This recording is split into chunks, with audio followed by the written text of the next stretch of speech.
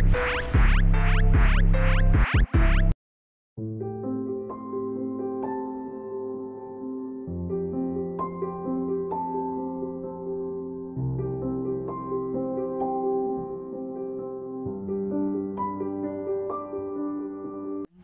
na tayo sa Kind Master. Ngayon, pupun- ang magke-create tayo ng new project. Itong icon na to. Yung may plus. And then, palagi tatandaan natin kapag magse-select tayo ng ratio, required po yung 16 ratio of 9. Yan. And then, syempre palagi yung background natin is black. So ayan, extend lang natin siya palagi. And then mag-add tayo ng text. Sa text na yan, gagawin natin. Since cinematic uh, nature yung gagawin natin, more on mga uh, sunrise, sunset, ganun. Tapos parang time lapse siya. Although nakapag nakapag-download na ako ng mga ganong video. So mamaya makikita nyo kung paano natin siya gagawin. Maglagay na tayo ng text sun. Okay, since since ah kung ano lang kung ano yung napili ko, ganyan. Gusto ko kasi sun.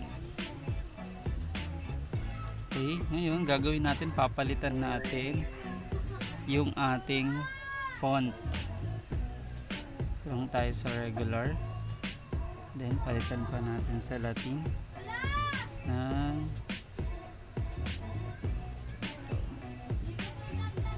tapos palakihan natin.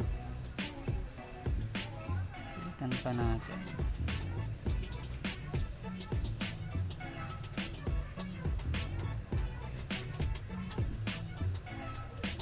Pwede pa natin siyang palitan ng palitan kung ano yung gusto natin. Ganyan. Or balik tayo dun sa liba yan. Yan pwede natin siyang palakihan na ganyan so i-play muna natin. Play muna natin siya.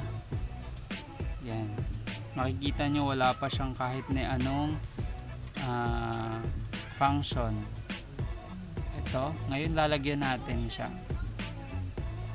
Sa mga interested po na matuto, nood lang po kayo sa aking video.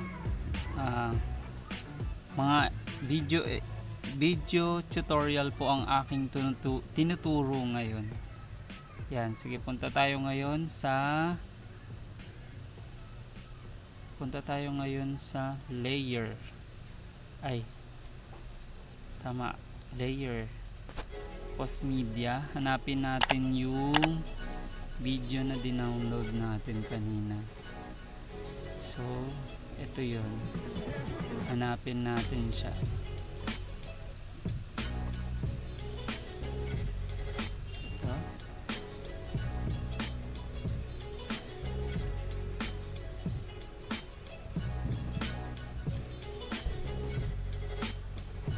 bali meron akong ginawa na na tawag nito. Meron na akong ginawang natapos na na project pero ipapakita ko pa rin sa inyo kung paano ko siya ginawa. So play muna natin ulit.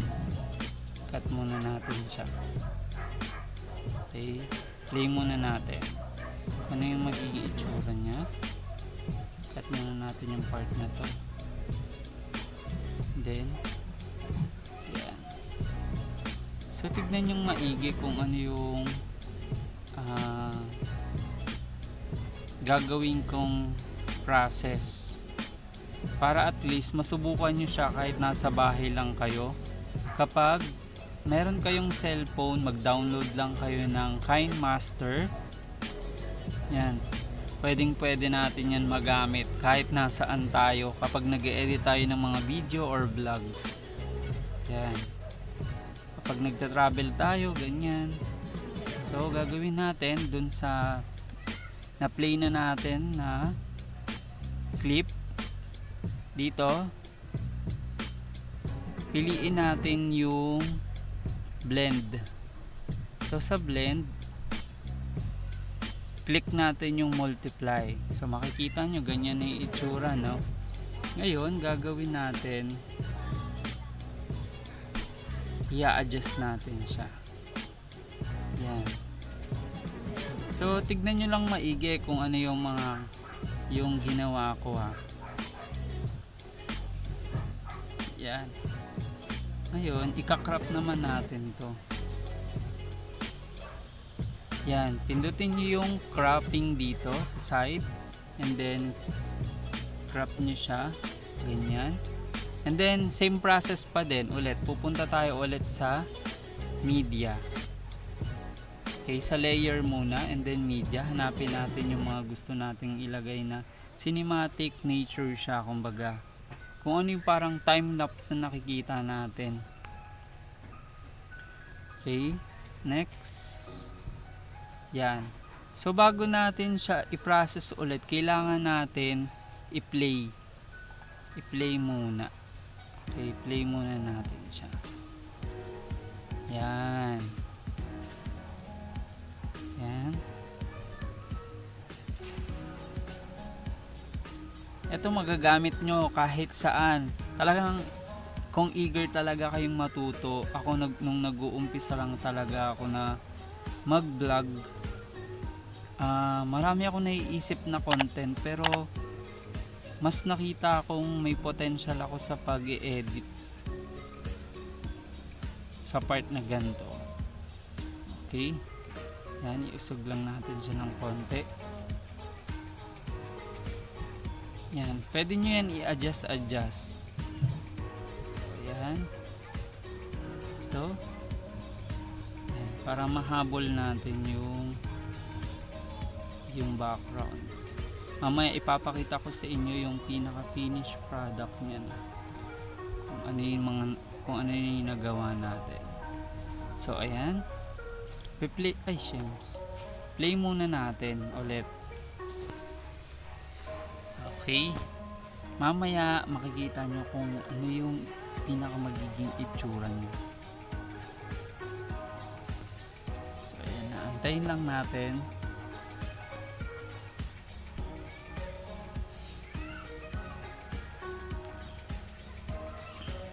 So, ako tinatapos ko palagi yung pagpi-play bago ko siya i-proceed sa next step kasi may mga instances kasi na pag click mo hindi talaga siya hindi po hindi po magpapa parang hindi siya magpa-function as kung ano yung gusto natin gawin.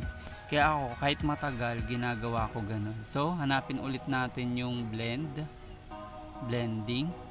Yan, multiply ulit So kung nakita nyo ganyan, ganyan siya. Ngayon dahil dalawa siya, dinuplicate ko, ika-crop ko lang to. Click natin yan. Crop muna natin to. Bago tayo mag-proceed sa isa. Okay. Yan. Tapos, kung gusto nyong malaman kung saan ko kinuha yung mga clip na yon, ilalagay ko siya sa description box para kung sakali gusto nyong matuto at gumawa ng mga ganto, yan, pwede nyo na silang, pwede nyo na tong masundan. So, as usual, ganun ulit dahil dinuplicate ko lang tong isang clip. Ganun ulit, tatapusin muna natin. Okay? Then after nyan kiklik ko na ulit tong video na yan. Then pupunta ako sa blend blending. Okay click ko ulit si multiply. So makikita nyo yung process na ginawa ko ganun pa rin. And then punta ako cropping ko. Kakrop ko siya ulit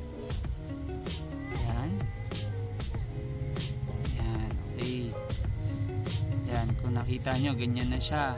And then same process ulit babalik tayo sa umpisa. Ganun ang ganun siya palagi.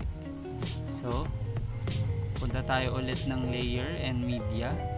Hanapin natin pa yung isang video. So lang. Ayun hanapin natin yung isa. Ito medyo mahaba-haba to. I- i-crop lang natin. Ay I mean ititrim natin. Yan. Sana clip.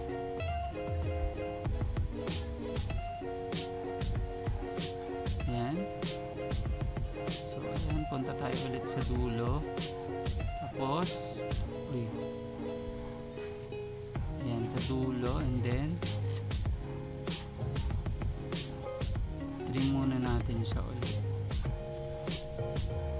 same process yung nakikita nyo. Madali lang to dahil paulit-ulit lang naman yung process niya. Susundan nyo lang siya kung paano ko lang siya ginawa. Yung mga natutunan ko bali nanonood din ako and then gumagawa ako ng sarili kong idea. And eto na yung pinaka concept na ah, nakita ko. Eto na yung pinaka concept ko mismo sa sarili yung main main ah kumbaga basta ito yung pinaka concept ko. Sa part na pag edit okay play natin siya ulit. Okay wait lang. Dahil may ano siya tanggalin natin. Ganun lang din pagka gusto nyo tanggalin yung pinaka sound nung clip na yon ng video na yon pwede nyo siyang tanggalin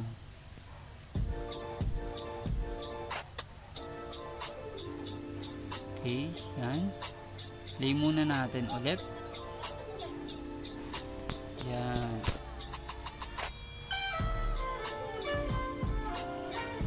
Play muna natin then makikita nyo kung yung pinaka final niya next. Okay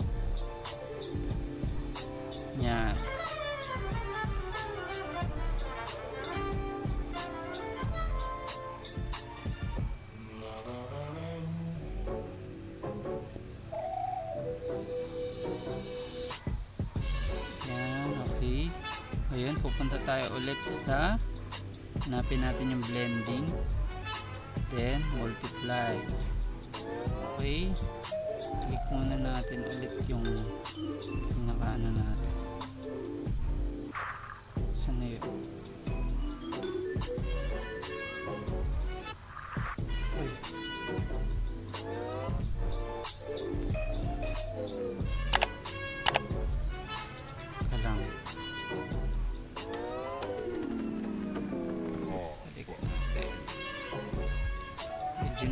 Siya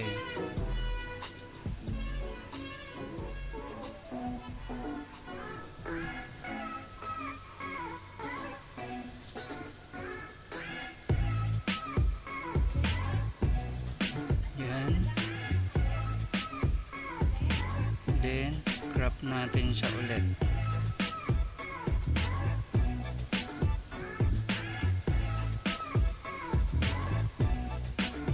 So, ayan. Kita nyo kung paano natin siya ginawa.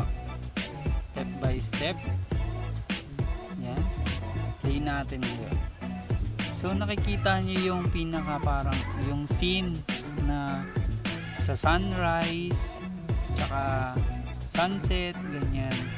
Tapos kung ano yung mga nakikita natin sa sa taas, sa pinaka mountain, ganyan ang nakikita.